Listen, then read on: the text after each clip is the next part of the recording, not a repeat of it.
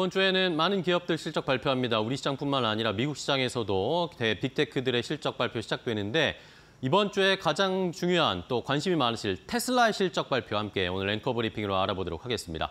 자, 오늘 이번 주에 뭐 테슬라 실적 발표한다, 발표한다 이야기가 많이 나오는데 실제로 언제 발표하는지 잘 안내를 안 해주는 것 같아서 제가 정리를 좀 해드리도록 하겠습니다. 자, 일단은 미, 어, 테슬라의 3분기 실적 발표는 미국의 동부 시간 기준으로 봤을 때 10월 23일 수요일 장 마감하고 나서 실적 발표가 나옵니다. 미국 시간으로 10월 23일이니까 우리 시간으로는 그 다음 날이 되겠죠. 10월 24일 미국 시장이 마감하고 나서 우리 시간으로는 오전 5시 이후에 뭐 지금 뭐 일각에서 뭐 6시 30분 정도에 발표될 거다라는 이야기가 나오는데 어쨌든 새벽에 실적이 어떻게 나오는지를 잘 살펴보셔야 되겠고요.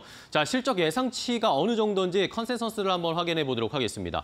자, 일단은 3분기 매출은 253억 3천만 달러 그러면서 전년 동기 대비해서 한 14% 정도 늘어날 것으로 예상이 되고 있고 주당 순이익 EPS는 0.58달러 어, 전분기나 작년 동기 대비해서 조금 어, 이익이 떨어질 것이다라는 이야기들이 나오고 있습니다. 지금 중국에서 무이자나 또 저금리로 대출해주면서 테슬라를 팔고 있는 상황이고 미국에서도 가격이 나 있기 때문에 이런 것들이 이익률을 좀 떨어뜨릴 것이다라고 하는 눈높이는 약간은 낮아져 있는 상황입니다. 자, 테슬라의 주, 최근의 주가 흐름을 한번 확인해 보면 테슬라를 투자하시는 분들은 아실 겁니다.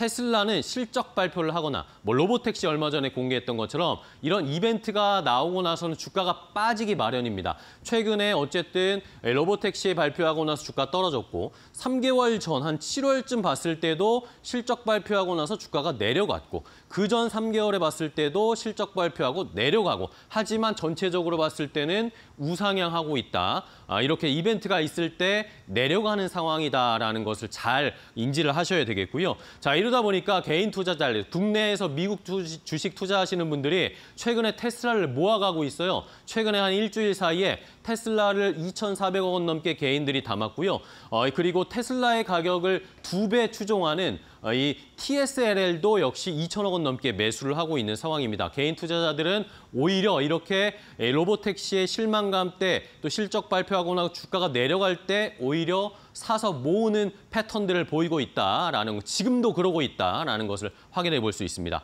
자, 테슬라 실적 발표할 때 가장 중요한 게 뭔지 살펴보겠습니다. 자동차 부문 매출 외에도 어, 자동차 매출의 총 이익률이 얼마나 증가하는지 이 이익률이 굉장히 중요합니다. 이거에 따라서 주가가 더 떨어지느냐, 그 덜 떨어지느냐 확인할 수 있고 자동차 사업만 보실 게 아니라 테슬라가 운영하는 에너지 사업, 메가팩과 관련돼서 실적이 어느 정도 나오는지 그리고 단순히 숫자만 보시는 게 아니라 역시 일론 머스크가 컨퍼런스 콜에서 무슨 얘기하는지 저가 모델 발표할지 아니면 어, 그리고 로보택시와 관련된 구체적인 이야기 나올지 이런 것들을 잘 살펴보시면서 테슬라의 주가 그리고 2차 전지 우리 시장의 영향까지 잘 대비를 해보시기 바랍니다.